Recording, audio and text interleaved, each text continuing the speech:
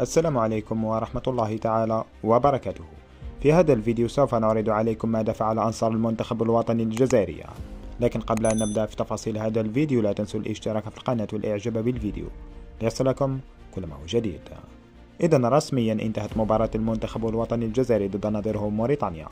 بخسارة الجزائر واحد مقابل لا شيء حيث أقصي المنتخب الوطني الجزائري من دور المجموعة للمرة الثانية على التوالي.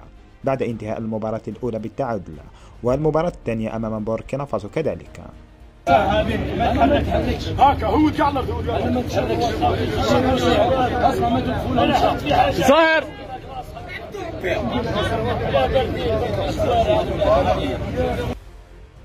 واقتحم أنصار المنتخب الوطني الجزائري الفندق الذي يقيم فيه المنتخب الوطني الجزائري في الكوديفوار مطالبين رئيس الفاف وليد صادية بأن يقيل جمال بلماضية وهنا بدوركم أعزائي المشاهدين شاركونا الآن بآرائكم في التعليقات ولا تنسوا الاشتراك في القناة والإعجاب بالفيديو.